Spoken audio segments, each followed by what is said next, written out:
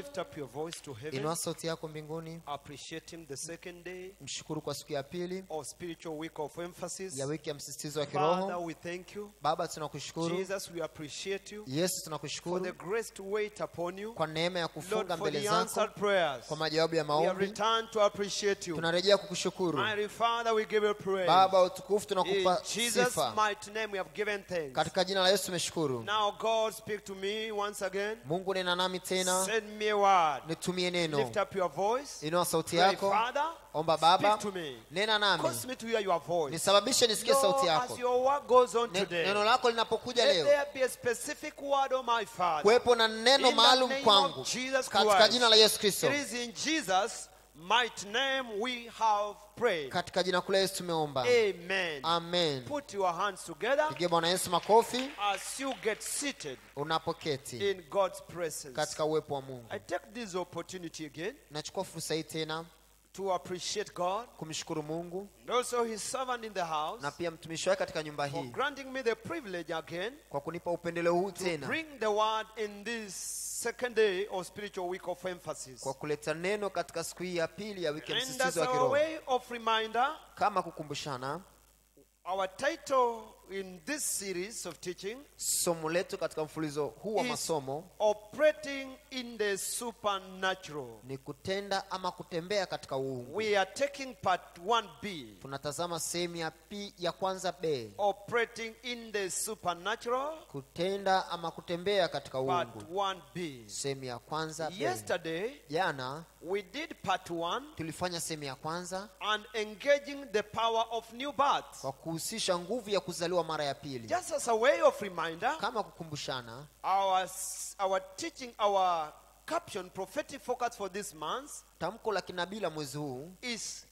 operating in the supernatural. ni kutenda katika uungu The supernatural is my new realm in redemption. uungu ndio kiwango changu kipya katika wokovu Is our prophetic focus for the month. hilo ndilo tamko la kinabii kwa mwezi huu The supernatural uungu is my new realm ndio kiwango changu kipya in redemption. katika wokovu Now we are taking a reading tunatazama neno from John chapter 3 verse number 8 ile yohana tatu mstari ule wa nane is the reading of the month. ndilo andiko la mwezi huu And we're going to read verse number 8. tutasoma mstari wa The Bible says in verse number 8, biblia mstari wa The wind bloweth where it listeth, upepo uvuma upendako and thou hearest na sauti yake the sound thereof, but cannot tell when it cometh lakini hujui unakotoka and whether it goeth. wala unakokwenda So is everyone that is born of the Spirit. kadhalika na hali yake kila mtu aliyezaliwa kwa roho Now, for us to understand the scripture, sasa ili tuweze kuelewa we have to begin from verse number 3. lazima tuanzie ule mstari wa The Bible says, biblia inasema And Jesus answered and said, yesu akajibu akamwambia Verily, verily, I say unto thee, amin amin nakwambia except a man is born again, he cannot see the kingdom of God. mtu asipozaliwa mara ya pili hawezi kuona ufalme wa mungu Yesterday, jana we learned that tulijifunza kwamba it is new birth ni kuzaliwa mara ya that repositions us to walk in the supernatural. kunakotuwezesha sisi kutembea katika uungu And now, the scripture we have read, sasa andiko tulilosoma except a man is born again, mtu asipozaliwa mara ya he cannot see the kingdom of God. hawezi kuona ufalme wa mungu Now, verse number 5. sasa mstari wa tano Again, it is repeated. imerudiwa And tena Jesus yesu akajibu Verily, verily, amin amin I say unto thee, except a man is be born of water and spirit, mtu asipozaliwa kwa maji na kwa roho he cannot enter into the kingdom of God. hawezi kuingia ufalme wa And mungu verse number 6 mstari ule wa sita That which is born of flesh is flesh, kilichozaliwa kwa mwili ni mwili that which is born of spirit is spirit. na kilichozaliwa na roho ni roho Hallelujah. Hallelujah. Now we have to understand one thing sasa tunapaswa kuelewa kitu from last night's teaching kupitia mafundisho ya jana new birth kwamba uokovu is what repositions a man into the supernatural. ndiko kuna kumfanya mtu kuingia katika uungu Being born again kuzaliwa mara ya pili is not just a religious identity, as we had, si utambulisho tu wa kidini kama tulivyosikia jana it is an initiation in the world of, of the Spirit. lakini ni unaingizwa katika ule ulimwengu wa It is an initiation into the supernatural. unaingizwa katika uungu What do we understand from the scripture we have read? tunachoelewa kwenye andiko Number one. cha kwanza Being born again kuzaliwa mara ya pili makes one a spirit. kunamfanya mtu kuwa roho To be born again kuzaliwa mara ya pili or salvation au wokovu makes you a spirit. kuna kufanya wewe kuwa roho You have to walk into the understanding lazima utembee katika that ufahamu I am not just a physical man, kwamba mimi si mtu tu wa kimwili but I am um, I am a spirit. lakini kwamba mimi ni roho I am a spirit being. mimi ni roho That is the first understanding that we must possess huo ni ufahamu wa kwanza tunapaswa for us to operate in the spirit realm. ili tuweze kutembea katika viwango vya kiroho Number two, cha pili we have to understand tunapaswa that kuelewa being born again kwamba kuzaliwa mara ya pili does not just make you a spirit, hakufanyi tu but kuwa it roho makes you a spirit in the class of God. lakini kuna kufanya kuwa roho iliyoko kwenye Therefore, daraja la mungu You are a God kind of a spirit. hivyo wewe ni roho kama ya You are not just a spirit, si roho tu but you are a God kind of a spirit. lakini wewe ni roho kama ya mungu And number three, na cha with that understanding, kwa ufahamu we have to understand therefore tunapaswa kuelewa kwamba that you are not just a God kind of the spirit kwamba of a wewe si roho tu inayotokana na mungu. being a spirit, kwa kuwa roho you can manipulate the outcome of your life from the spirit realm. unaweza ukaamua matokeo ya maisha yako kupitia ulimwengu wa roho. That's why the Bible says ndicho biblia inachosema. in John chapter 3, verse number 8, yohana tatu mstari wa nane. like a wind kama upepo that bloweth, huvuma. we cannot see it by our eyes, hatuwezi kuona kwa macho but we cannot deny its effect. lakini hatuwezi kukana matokeo yake How? kwa nini We can see the effect on the environment. tunaweza kuona yale matokeo kupitia mazingira What does it mean to us? ina maana gani kwetu being born again kwamba kuzaliwa mara ya pili brings you to a place, kuna kuingiza mahala you to a kind of life kuna kuingiza katika namna ya maisha where you can manipulate the events of life. mahala ambako unaweza ukaamua matukio You ya can maisha manipulate the outcome of life. unaweza ukaamua matokeo ya You maisha can manipulate the going on in your life unaweza ukaamua mambo yanayoendelea katika maisha yako of unseen. kutokea katika ulimwengu au kiwa, viwango visivyoonekana But how can you do that? unawezaje kufanya hivyo By understanding kwa kuelewa that new birth kwamba wokovu translates you from earthly realm to the spirit realm. unakuhamisha kutoka viwango vya duniani kwenda kwenye viwango vya roho New birth wokovu translates you unakuhamisha earthly to heavenly being. kutoka viwango vya kidunia kuwa mtu wa kimbingu You are not just an earthly being, wewe si mtu tu wa kawaida wa dunia you are a heavenly being. lakini wewe ni kiumbe wa mbinguni But how can you exercise unawezaje sasa kutendea kazi your new nature in Christ?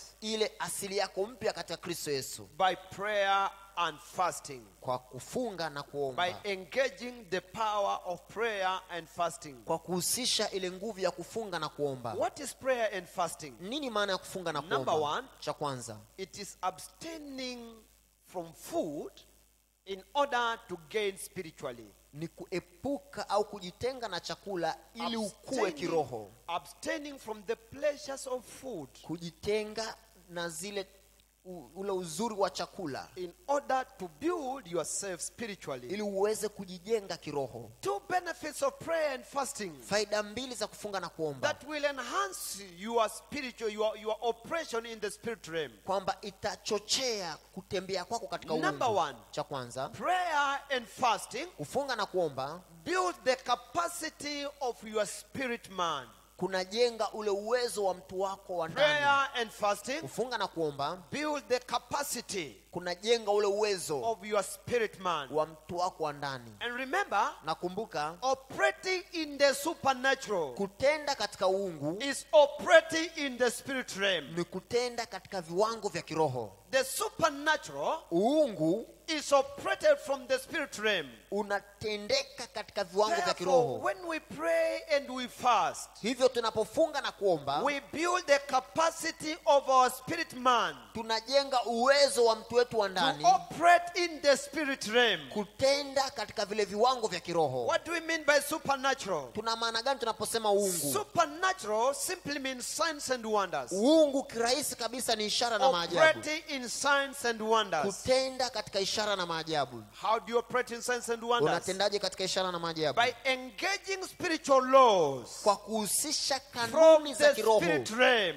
katika ulimwengu ule wa kiroho How can you do that? unawezaje kufanya hivyo Effectively. Kwa ufanisi By empowering the capacity of your spirit man. kwa kuimarisha ule uwezo wa mtu wako wa ndani Number two, cha pili prayer and fasting kufunga na kuomba enhances our power and authority. kuna imarisha mamlaka yetu Prayer and fasting kufunga na kuomba enhances our capacity, enhances, enhances our power and authority. in the kunaimarisha nguvu zetu na ile mamlaka katika ulimwengu wa roho. Matthew chapter 17, verse number 21, Mathayo 17:21 the Bible says, biblia inasema This kind goeth not except by prayer and fasting. namna hii haitoki isipokuwa kwa kufunga na kuomba When the disciple could not cast out an evil spirit, pale wanafunzi waliposhindwa kutoa roho chafu they came to Jesus and asked, walimwendea yesu na kumuuliza Master, how come we could not command this spirit to go out of the man? bwana imekuwaje hatukuweza kuamuru roho ile itoke ndani ya ndugu yule Jesus answering, yesu akajibu said, akasema This kind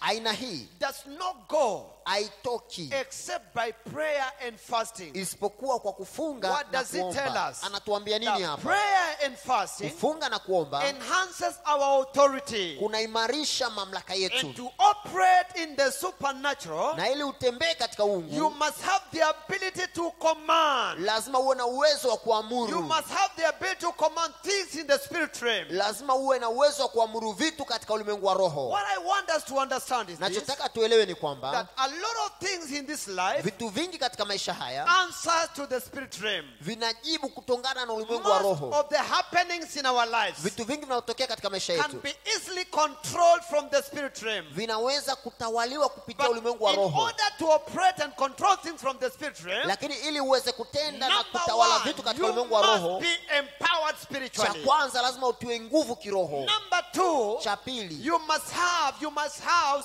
you must have authority. lazima uwe na You mamlaka must have an enhanced level of authority. lazima uwe na mamlaka Therefore, iliyowezeshwa when we pray and we fast, tunapofunga na kuomba we gain, we gain power and authority tunapokea nguvu na to mamlaka operate in the spirit realm. ya kutuwezesha kutenda katika ulimwengu wa Now, I want us to understand nataka tuelewe that praying for kingdom, kingdom advancement prayer kwamba kuomba maombi ya kusogeza mbele ufalme wa mungu should be our priority in our prayer and fasting. inapaswa kuwa kipaumbele chetu katika kufunga kwetu na As we kuomba pray and we fast, tunapofunga na kuomba our priority kipaumbele chetu should be praying kingdom advancement prayer. kinapaswa kuomba kiwe kuomba maombi ya kusogeza mbele ufalme wa mungu Because praying kingdom advancement prayer as a priority in our prayer lives kwa sababu tunapoomba maombi ya kusogeza mbele ufalme wa mungu kama kipaumbele katika maisha yetu commits God kunamfanya to continue to supernaturally add to us what men are dying to get. Kuendelea kutuongezea kiungu kile ambacho wengine wanatafuta hata kufa Matthew chapter 6 verse number 9. matayo 6:9 The Bible says, biblia inasema In this manner you shall pray. mtaomba namna hii Our Father in heaven, baba yetu uliyoko hallowed be thy name. jina lako Thy kingdom come. ufalme wako uje Your will be done. mapenzi yako So as you pray for the kingdom, unapoombea you are enforcing the will of God. unasababisha mapenzi ya mungu You yatimie enforce the will of God. unasababisha mapenzi ya mungu yatimie Commitment to kingdom advancement prayer kujitoa katika maombi ya kusogeza mbele ufalme wa mungu commits God to continue to reward us supernaturally kunamfanya mungu ajitoe kutupa thawabu kiungu and openly. na waziwazi kabisa Matthew chapter 6, verse number 6. matayo 6:6 When thou prayest, bali wewe usalipo shut yourself in the room. ingia katika chumba chako cha ndani as you pray secretly, na ukisha sali sirini your Father who sees will reward you openly. baba yako aonaye sirini atakupa thawabu waziwazi verse number 17 mstari wa kumi na saba when thou fastest, mfungapo when thou fast, mfungapo praise the Lord. bwana asifiwe As you do so, unapofanya hivyo your father who sees in secret baba yako aonaye sirini will reward you openly. atakupa thawabu waziwazi Now, when you read the scriptures, sasa unaposoma andiko a scriptural example of a man that was given to prayer and fasting mfano wa mtu ambaye alijitoa katika kufunga na kuomba is Apostle Paul. ni mtume paulo When you read this, the life of Apostle Paul, unaposoma maisha ya mtume paulo particularly in Second Corinthians chapter, chapter Second Corinthians chapter number 20, chapter 11 verse number 27. wakorintho wa pili kumi na moja ishirini na saba Second Corinthians wakorintho wa pili chapter 11 kumi na moja verse number 27. na mstari ule wa ishirini na saba In weariness, Katika- in painfulness, katika taabu na masumbufu watching, katika in kukesha hunger, katika njaa thirst, katika kiu. in fastings often. katika kufunga mara nyingi. Not one fasting, sio kufunga mara moja. Fastings often. kufunga mara nyingi. The same man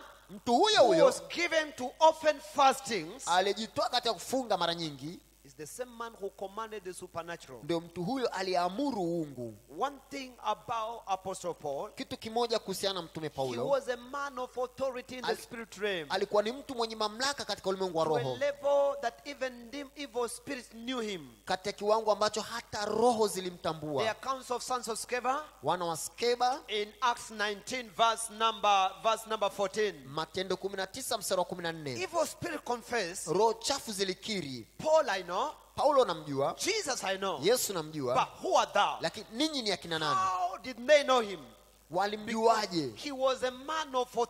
Kwa sababu alikuwa ni mtu mwenye mamlaka. Now, authority means sasa mamlaka maana yake you can command and it happens. unaweza ukaamuru na kitu kikatokea. Authority means mamlaka maana you can command and it happens. ukaamuru na ikatokea. Now, evil spirits witness of Apostle Paul. roho chafu zilimshuhudia mtume paulo. wakasema paulo tunamjua. Kwa He nini was known by his authority. kwa sababu alitambulika kupitia ile mamlaka yake katika ulimwengu wa roho. Now, one thing about operating the super, supernatural, kitu kimoja kwa habari ya kutenda katika the uungu secret of operating in the supernatural siri ya kutenda katika uungu is discovering that you are a spirit. Ni wewe kugundua kwamba wewe ni roho just a spirit, wewe si roho tu but you are a spirit in the class of God. lakini ni roho ulioko kwenye daraja la what is mungu born of God is god kwa sababu kilichozaliwa na mungu ni What is mungu born of spirit is spirit. kilichozaliwa na roho ni roho Hallelujah. Hallelujah. Apostle Paul mtume paulo in Acts chapter number 14, verse number 11. matendo 14 It was, it was witness ilishuhudiwa kwake after performing signs and wonders. baada ya kutenda ishara na miujiza The people of the city said, watu wa mji The wakasema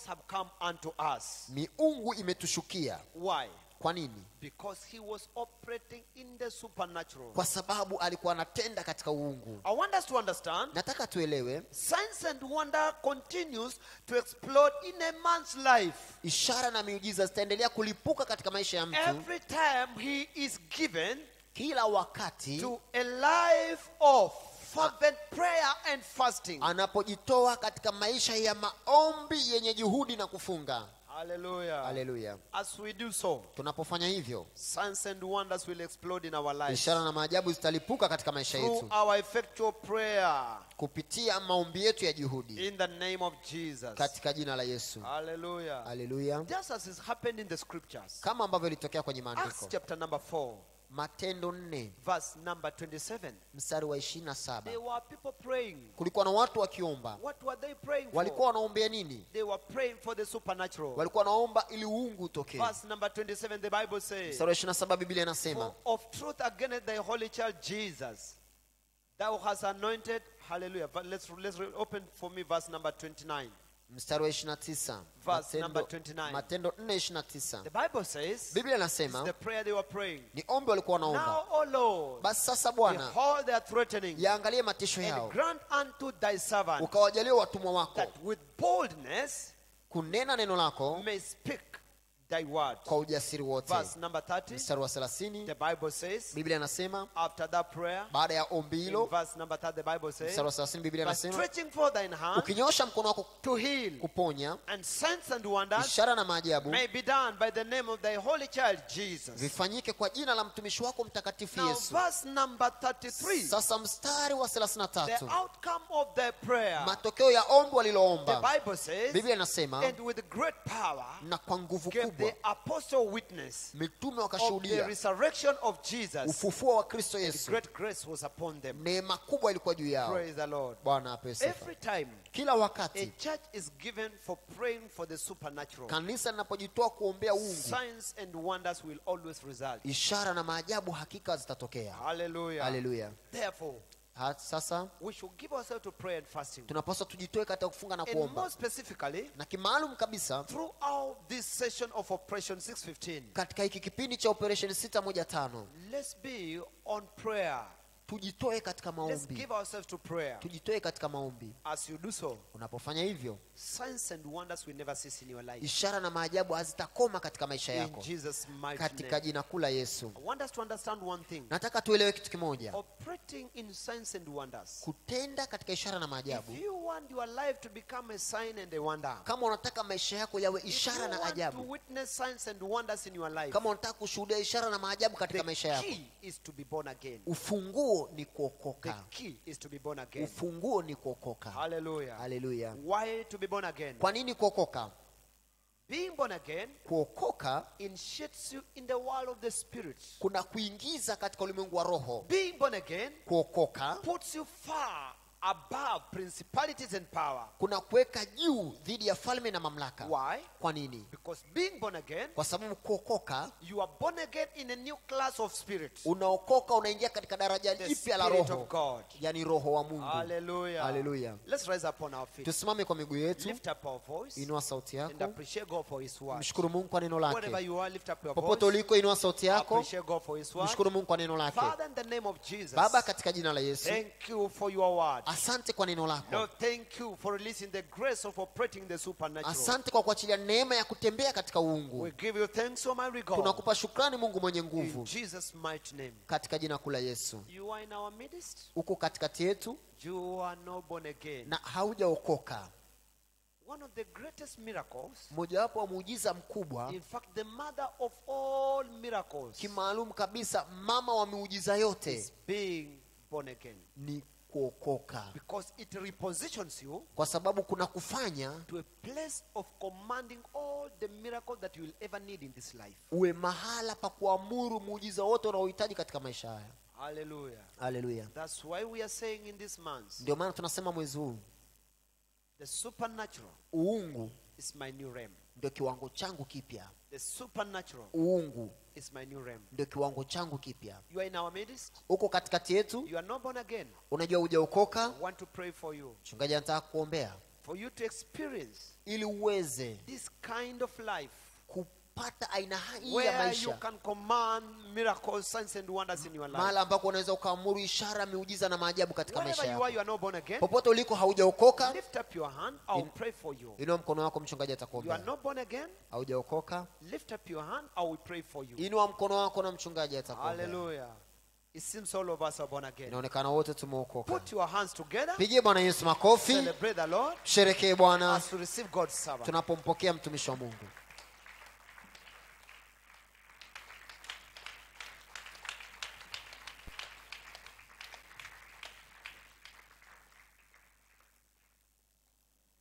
Hallelujah. Hallelujah. Let's wave our hand to Jesus and tupunge mikono yetu kwa yesu tumpe utukufu Celebrate him. msherekehe Father, we thank you for your word this morning, baba this evening again. tunakushukuru kwa neno lako jioni hii tena Lord, for showing us how we can operate in the supernatural. kwa kutuonyesha namna gani tunaweza kutenda katika uungu by engaging the power of prayer and fasting. kwa kuhusisha ile nguvu ya kufunga na kuomba We give you all the glory. tunakupa utukufu wote We give you all the honor. tunakupa heshima yote In Jesus' glorious name. katika jina tukufu la yesu Somebody shout a louder amen. sema amina kubwa If you are blessed, shout a kama louder sema amina amen. kubwa Please be seated. We are going to pray now. tafadhali keti tunakwenda kuomba sasa We are going to pray. tunakwenda kuomba But, but before we pray, lakini kabla tujaomba I found out that prayer is a mysterious thing. nimegundua kwamba maombi ni kitu cha ajabu I will explain. nitaelezea Right from the life of Jesus, studying about it, about the life of Jesus, nazungumzia kwa habari ya maisha ya yesu you find out that one of the, secret secrets of Jesus operating in the supernatural tunagundua mojawapo ya siri iliyomwezesha yesu kutenda katika uungu was his prayer life. ilikuwa ni yale maisha yake ya maombi Even from choosing the disciples, hata katika kuwachagua mitume Jesus had to pray. yesu ilibidi aombe Before the temptation, kabla ya majaribu Jesus had to pray. yesu alihitaji Before kuomba he was empowered, kabla ya kuvikwa uweza he fasted and prayed. alifunga na kuomba And in Luke chapter 4, verse 14, na luka 4:14 the Bible says he returned with the power of the Spirit. Biblia inasema akarejea kwa nguvu za roho Anywhere you see miracle, popote unapoona muujiza there are people praying. kuna watu wanaomba There is no man of God, no matter how anointed he or she is, kuna mtumishi wa mungu ajalishi anampakwa mafuta kiwango who gani doesn't spend time in prayers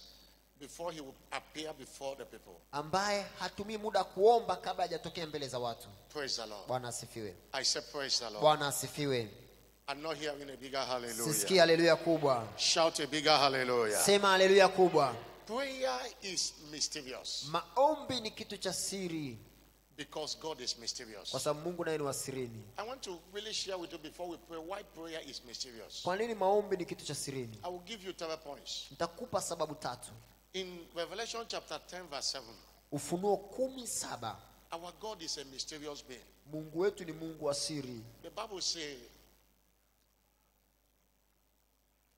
But in the days of the voice of the seventh angel, when shall begin to sound, the mystery of God should be finished, as he have declared to his servant the prophet. isipokuwa ile ufunuo kumi mstari wa saba isipokuwa katika siku za sauti ya malaika wa saba atakapokuwa tayari kupiga baragumu hapo ndipo siri ya mungu itakapotimizwa. God is not a man, mungu si mwanadamu. And we cannot know everything about him. na hatuwezi kujua kila kitu kuhusiana na mungu. He said the mystery of God. anasema siri ya mungu. We will only know everything about God on that day of of when we appear before him. tutajua kila kitu kuhusiana na mungu siku ile tutakapotokea mbele zake So what are the mysteries of prayer? siri za maombi ni zipi Connecting it to the, the mysteries of God. na tukiziunganisha na siri za mungu Mysteriously, kisiri kabisa it seems that God is limited or restricted inaonekana kwamba mungu yeye huzuiwa to do only what we ask. kutenda tu kile tunachoomba It seems that God is limited. inaonekana kwamba mungu yeye anaweza God is restricted mungu akazuiwa to do only what we ask. na kutenda tu kile ambacho tunaomba It seems that God will only act. God will not act until we pray. inaonekana kwamba mungu hatotenda mpaka tumeomba That is how mysterious prayer is. hivyo ndivyo namna maombi yalivyokuwa ya Despite that kisiri God knows everything we are passing through. Pasipo kujalisha mungu anajua kila kitu anachopitia Despite that God have a plan and purpose for us. pasipo kujali mungu ana mpango na makusudi kwetu. But what we have known about God, kile ambacho tumejua kuhusiana na and which is so mysterious, ambacho ni tasiri siri kabisa na this cha God does not act until we pray. kwamba mungu huyu hatendi mpaka tumeomba. There was a case in Genesis chapter 20, kuna swala fulani katika mwanzo ishirini. Reading from verse 7 to 7. Mwanzo ishirini mstari wa The case of Abraham and Abimelech. The Bible says that God came to Abimelech in the night. Biblia inasema mungu akaenda kwa abimeleki usiku That was when he took the wife of Abraham. ni wakati abimaeli alipochukua mke wa And he said to him, Behold, na akamwambia tazama thou man. wewe mtu unayetaka For the woman that have taken, for she is a man's wife. mwanamke uliomchukua ni mwanamke wa mtu mwingine And Abimelech had not come near her. Abimeleki alikuwa And hajamkaribia Abimelech said to God, abimeleki akamwambia bwana Lord, will that stay also a righteous nation? bwana je utaangamiza taifa lenye haki And say he not unto me. na akamwambia is referring to Abraham now. anamwambia ibrahimu sasa She is my sister. yeye Ibrahim aliniambia huyu ni dada even yake she herself said, na hata yeye mwenyewe alisema kwamba ibrahimu ni kaka yake In the integrity of my heart and innocency of my hand have I done this. Katika uadilifu wa moyo wangu na kwamba sikuwa na hatia nimelitenda jambo hili unto Abimelech in a dream, na mungu akamwambia abimeleki katika ndoto. ndoto I know that thou have ninajua this in the of the heart. najua umetenda jambo hili kupitia uadilifu wa moyo wangu. from sinning against me. na ndio maana nimekuzuia usitende dhambi kinyume Therefore nami suffered I not thee not to touch her. sasa usithubutu kumgusa And in verse 7, mstari wa saba. That is my emphasis. huo ni msisitizo wangu. God told him, Restore the man his wife, mungu akamwambia sasa rudisha mke wa for he is a prophet. kwa maana yeye ni nabii. And he shall pray for thee, naye atakuombea. And thou shalt live. upate kuishi. And if thou restore, bali usipomrudisha. This man, God have a power to make him live. Mungu ana uwezo wa kumfanya aishi You see how mysterious prayer is. ona namna maombi yalivyokuwa ya ajabu God said, For you to live, mungu akwambia ili wewe uishi he shall pray. yeye atakuombea If he didn't pray, kama asingeomba I will not act.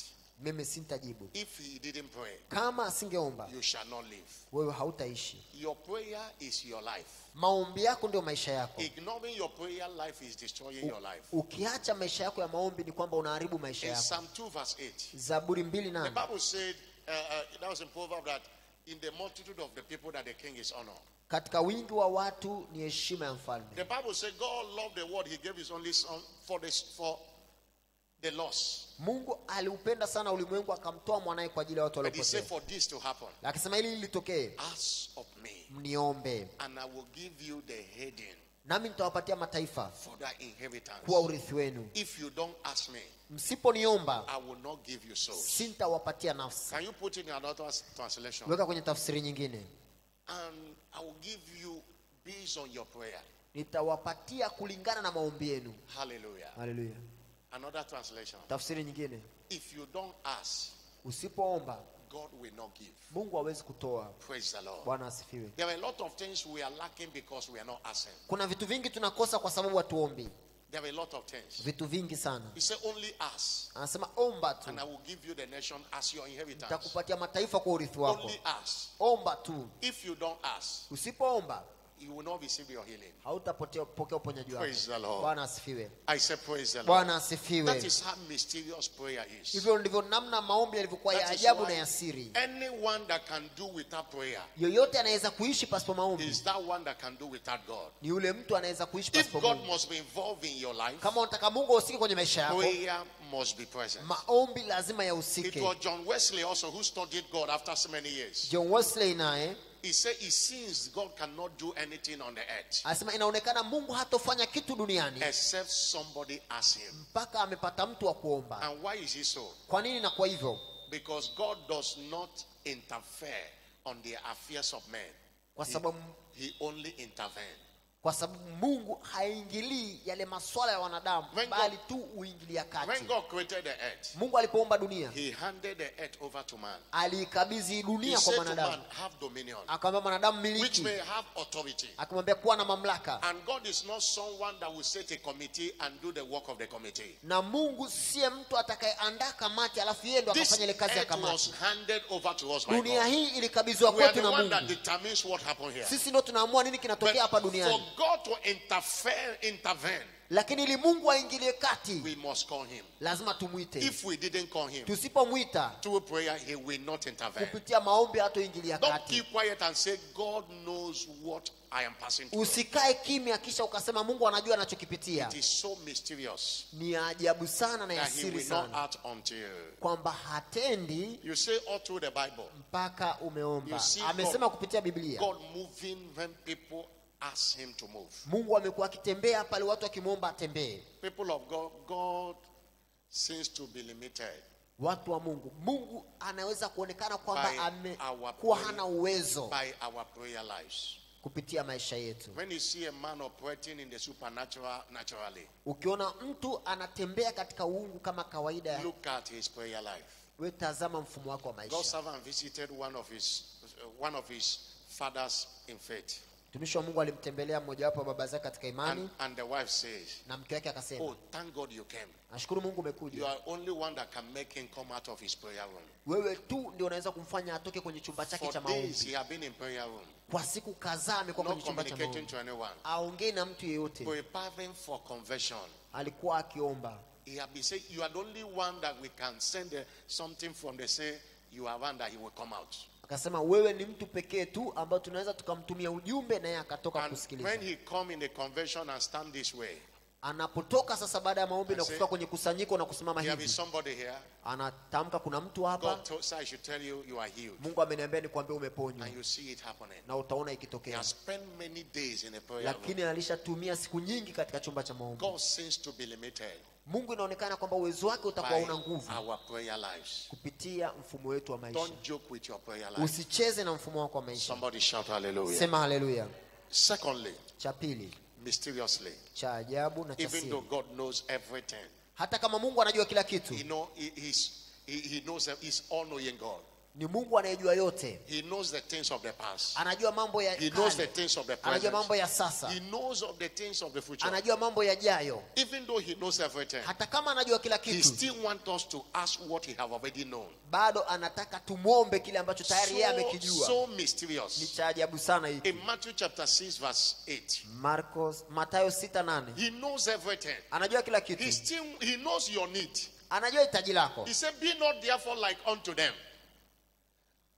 For your help, your father knoweth what things that you need of, even before you ask. anasema je si kwenu ninyi kwamba baba yenu anatambua kila If God kitu knows that I mnachohitaji need so kabla so and mjaomba so, why didn't he give it to me?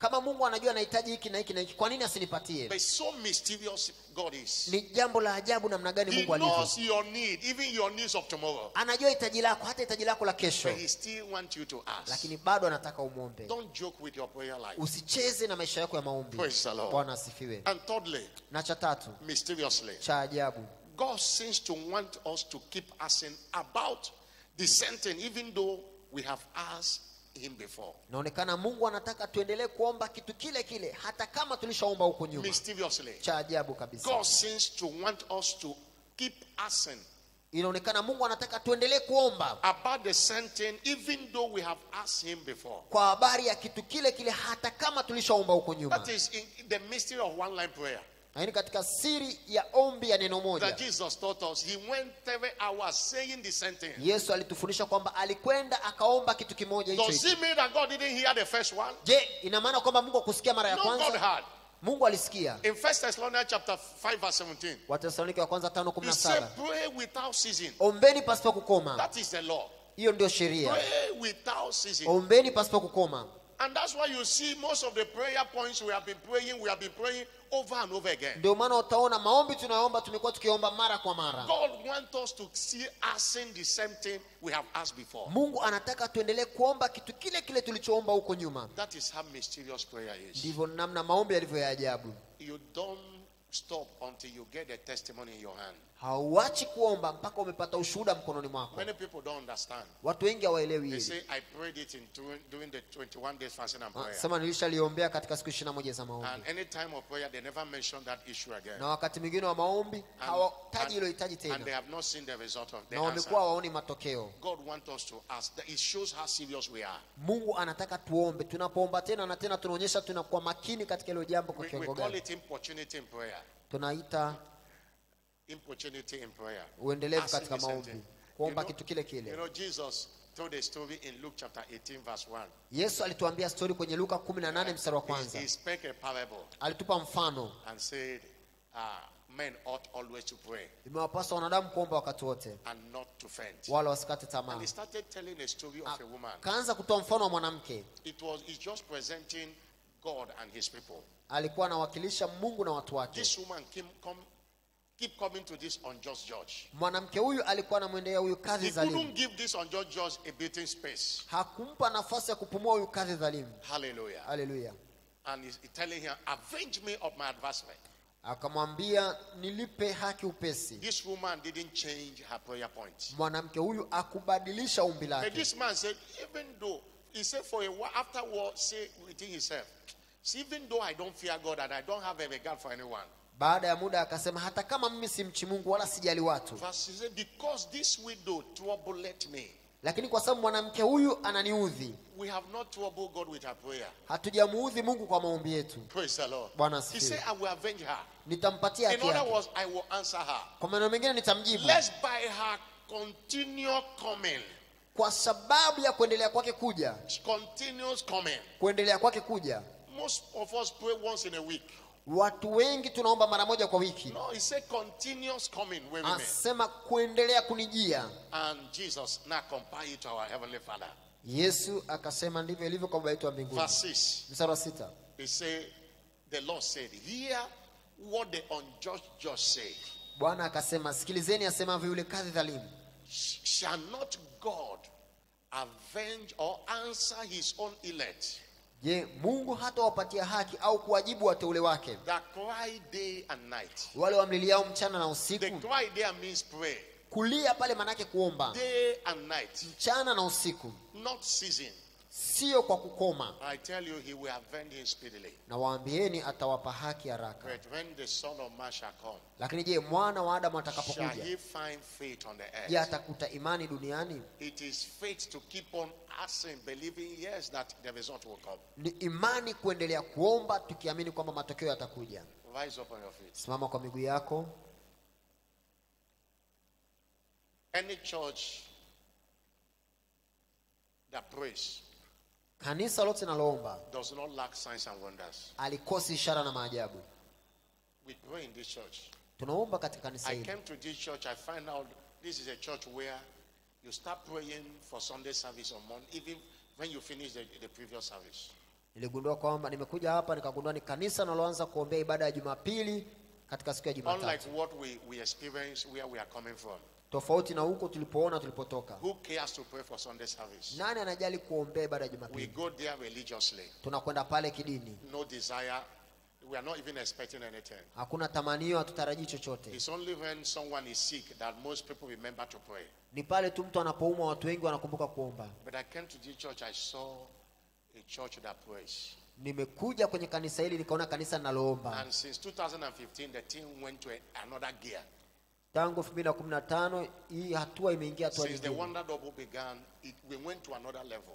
tangu ajenda ya damu maradufu imeanza tumeingia kwenye kiwango kingine Praise the Lord. bwana asifiwe There are things you are not seeing in your life kuna vitu ambavyo huvioni katika maisha yako because you are not praying. kwa sababu auombi And if you are prayerful, na kama wewe ni mwana maombi na you will, unaomba you will join it with fasting.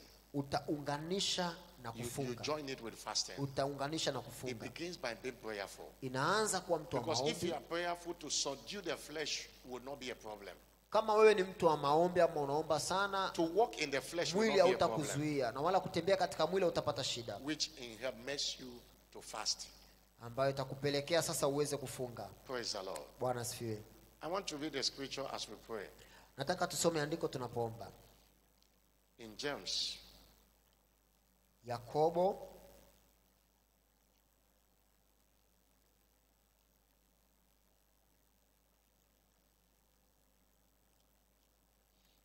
James chapter 4, yakobo waraka wa yakobo sura ya 4 verse 2 and 3. mstari wa pili na ule wa tatu. He said, You lost mwatamani and have not. wala hamna kitu. You kill and desire to have. Mwaua and cannot obtain. na kuona wivu He said, And you have not na hamna kitu because you ask not. kwa sababu hamwombi You have not. Hamu, hamna kitu Five minutes of, of personal supplication is not enough of what you need this month.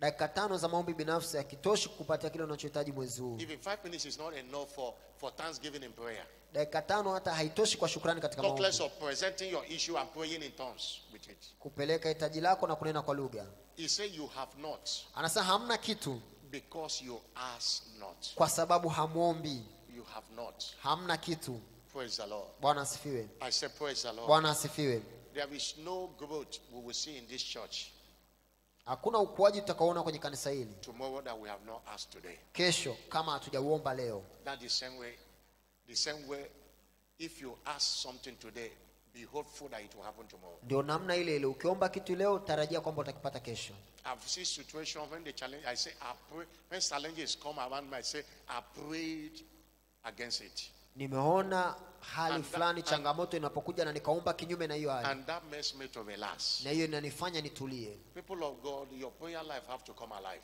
watu wa mungu maisha yako ya maombi yanapaswa kuwa hai You ask not because He said, You have not because you ask not. hapa anasema hamna kitu kwa sababu hamwombi Is there anything you need in this life that you won't ask? chochote unachohitaji kwenye maisha yayo unahitaji kuomba. in James chapter, uh, chapter 1, verse 5, yakobo moja tano eh, if any of you lack wisdom, je kuna mtu amepungukiwa na hekima let him ask. na The wisdom you have to ask to get. hekima unabidi uombe uipate Everything in this kingdom work by prayer. kila kitu katika ufalme huu kinatenda kazi kupitia maombi That is how mysterious prayer is. hivyo ndivyo namna maombi yalivyo ya siri na ya ajabu Praise the Lord. bwana asifiwe You have you thought you thought that you are praying, you are not praying. Unadhani kwamba unaomba lakini Oh, I have prayed for five which five minutes? unaomba kwa dakika tano Praise the Lord. bwana asifiwe Maybe another there are many people their own prayer life. kuna watu wengine katika maisha yao maombi. Before they will present any matter to God. kabla hajapeleka hitaji kwa mungu Maybe on Sunday again. labda jumapili Or next Wednesday. au jumatano ijayo You ask you have not because you ask not. hauna kitu kwa sababu hauombi Praise the Lord. bwana asifiwe Lift up your voice inua sauti yako and say, God, mwambie mungu baptize me with the spirit of prayer. nibatize kwa roho ya maombi Heal me from every prayerlessness, niponye katika udhaifu wa maombi every prayer infirmity. kila udhaifu wa maombi Oh, You think that you are not praying. I'm telling you the reality. nikuambie ukweli You, if your prayer life changes, your level of command in the supernatural. maisha yako ya maombi yakibadilika uwezo wako wa kuamuru utabadilika The secret of God's servant is his prayer life. siri ya mtumishi wa mungu ni mfumo wake wa maombi Open your mouth and pray. fungua kinywa chako na uombe. Open your mouth and pray. fungua kinywa chako na uombe Lord, help me. bwana nisaidie Deliver me from every prayerlessness. niponye kwenye udhaifu wa maombi Deliver me to every weakness niponye kwenye kila aina ya udhaifu katika Oh, maombi yakabalandu andele bosha. Ayando beria balabra kateketo. Shuakata kateketu shakalabra katokotoliaba. Shuakalabraka teketo toloboshia balaba. Ayandole balaboshia labalabulia balabalabo. Ebalabalaboshia katalia balabalaboshia balaba. Ayando balaboshia balaba. Ayala balaboshe ketoko toko tolobo. Ebalabosh kalabalaboshia balabalabolaba. Shuakateke toko tolobo. Andela balaboshia katela balaba. Ashia katelia balabo. Ebandelia balaboshia kalabalaboshia. Ablando keto beli andelebo. Yandele balabo shia katoli balaba.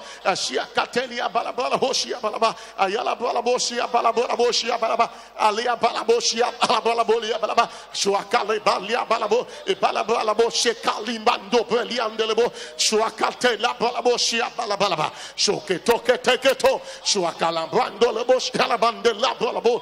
La balaboshia kalabalabo shkalabalaba. Shoketo ketoloboshia balabalaba. Alian Thank you, Jesus. asante yesu Romans chapter 8, verse 26. warumi 8:26 The Spirit also helped our infirmities. kadhalika roho tusaidia udhaifu wetu Infirmities is the same word like weakness. udhaifu ni lile neno kwamba Romans chapter 8, verse 26. He said, We don't even know what we should pray as we ought to. hatujui kuomba itupasavyo But the Spirit of God maketh intercession for us lakini roho wa mungu hutuombea with groanings which cannot be uttered. kwa kuugua kusikuweza There is kutamkika a spirit that helps our infirmities. kuna roho inayotusaidia That's udhaifu why wetu anytime you pray in the Holy Ghost, you are engaging the Holy Ghost. ndio maana kila wakati unapoomba kwa kunena kwa lugha unamhusisha roho mtakatifu I've never seen anyone who operate in the supernatural without prayer. sijawahi kuona mtu yote anaweza kutenda katika ungu pasipo maombi kimaalum kabisa kuomba katika roho mtakatifu many stories. What God servants enjoying today, the foundation was laid in prayer. Kitu and he's still praying, praying up to today.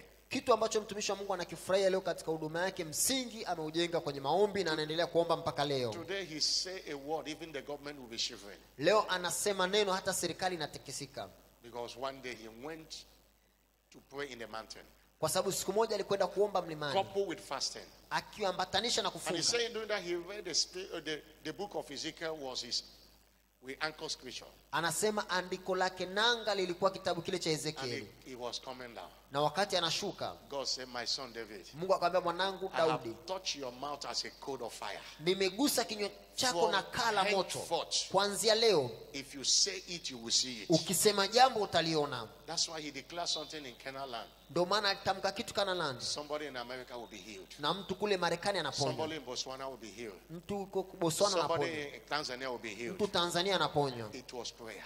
Ilikuwa ni kupitia maombi They asked Smith Wigglesworth, how often do you pray? How, how, do you pray? He said, about his prayer life. walimuuliza smith wigglesworth kwa habari ya mfumo wake wa maombi more than 20 minutes. Asema siombi zaidi ya masaa dakika ishirini And also, I don't stay up to 20 minutes without praying. na pia siwezi kukaa dakika ishirini pasipo kuomba Prayer was his way of life. maombi yalikuwa ni namna yake ya don't kuishi stay 20 minutes without praying. anasema siwezi kukaa dakika ishirini pasipo kuomba He's still speaking today.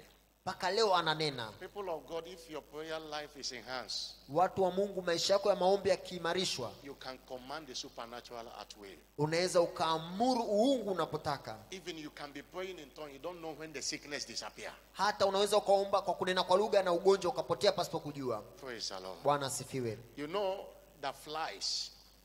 unajua nzi Flies does not nzi perch on the pot of soup on the fire. nzi hawawezi kusogea katika tuseme birika ama sufuria yenye moto because it will destroy them. kwa sababu itamwharibu But the same pot of soup, lakini sufuria hiyo hiyo ya supu when it is cold, inapokuwa imepoa flies will be organizing themselves there. nzi watajipanga na kukaa pale It's likened to your life. Hii inafananishwa na maisha When yako. your life is on fire, maisha yako yanapokuwa ya moto even sicknesses, they jump and pass. hata magonjwa yanaruka yanapita zake. jump and pass. mishale inaruka na kuondoka. "Mm, shetani anasema msisogee karibu na mtu huyu. But when your life is cold, lakini maisha yako yanapokuwa yamepoa utaona mashambulizi pande Make zote. your life, fireize your life.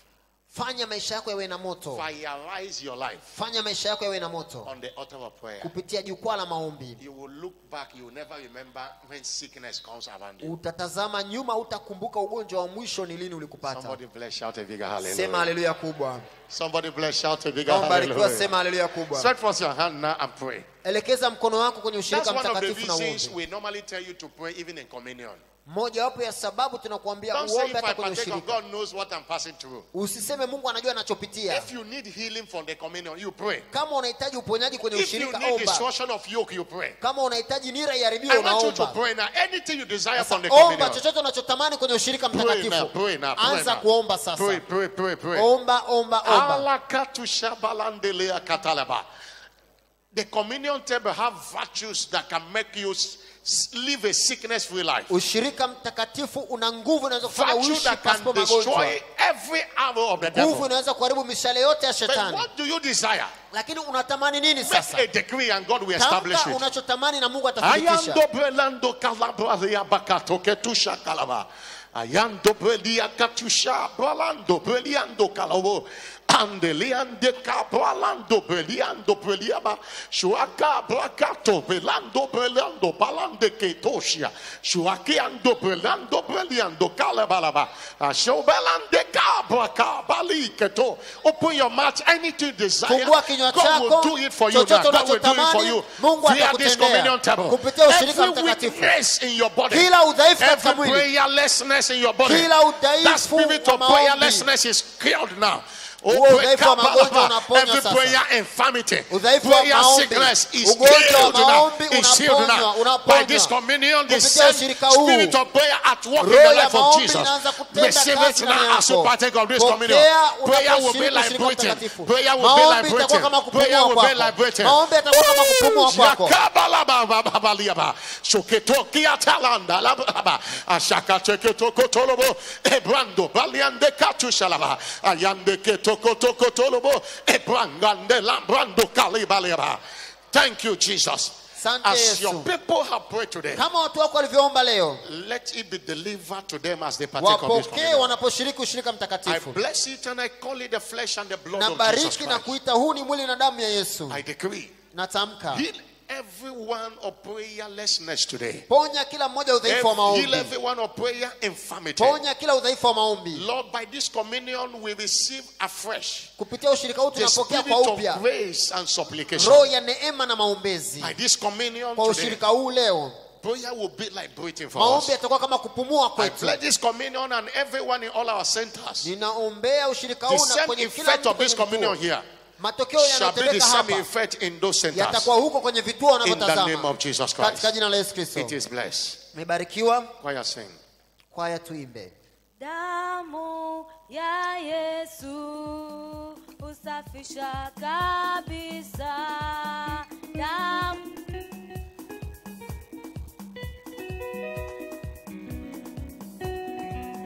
Damu ya Yesu husafisha kabisa.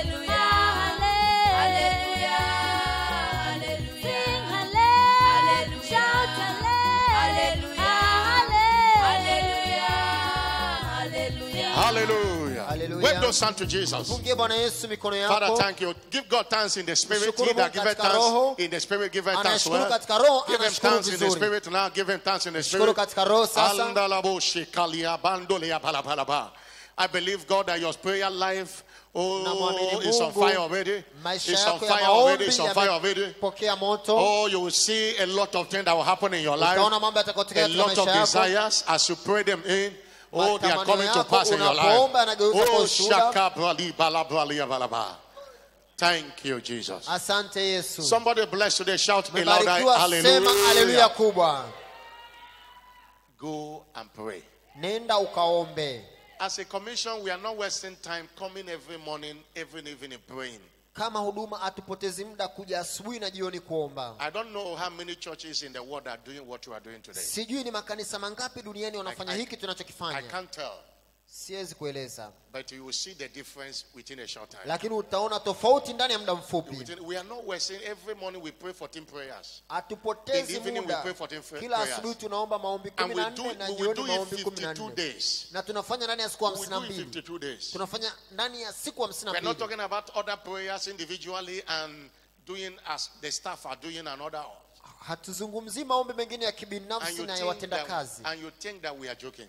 Na unadhani tunatania Please learn it and do it for your own life. tafadhali jifunze maombi na ufanye katika maisha yako binafsi Live a prayerful life. ishi maisha ya maombi And you see, you, you will look around, you will see, ah, all those challenges I used to face, they don't come again. na utatazama utakuja kugundua kwamba changamoto zote zilikuwa zikikuambatana na wewe hazipo tena Somebody shout hallelujah. sema haleluya You are blessed. umebarikiwa Go in peace. nenda kwa amani Your prayer life will not go down maisha yako ya maombi hatashuka tena And as you pray, na unapoomba you shall get a result utapata instantly. matokeo In the name of Jesus Christ. katika jina la yesu kristo Everything attacking your prayer life. kila kitu kinachoshambulia maisha yako ya maombi Today, such thing is attacking the leo name of Jesus Christ. kinashambuliwa The devil is one enemy attacking your prayer life. shetani ndiye adui mmojawapo anayeshambulia maisha yako ya maombi don't give place to the devil. tafadhali usimpe nafasi ibilisi Don't give a place to the devil. usimpe nafasi ibilisi Many people can stand talking with another person for one hour. watu wengine wanaweza kusimama kumuongelea mtu lisali moja Maybe gossiping or saying the things that will not add value to their life. labda kuongea vitu umbea au vitu ambavyo vitaongeza thamani katika maisha yao Leg will not pendent. them.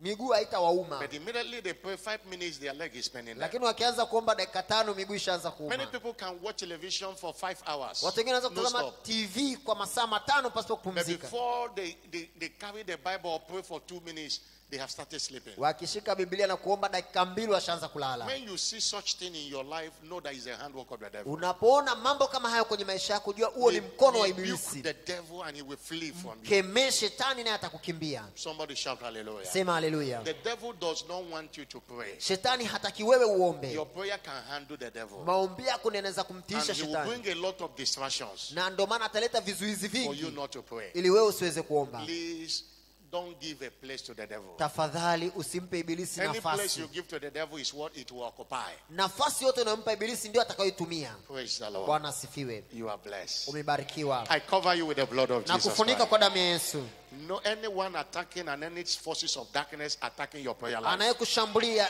yeyote au nguvu za giza Today it is over in the name of Jesus zimekoma Christ. kwa jina la yesu I will hear your testimony this weekend nitasikia ushuhuda wako wikendi hii in Jesus' glorious name. katika jina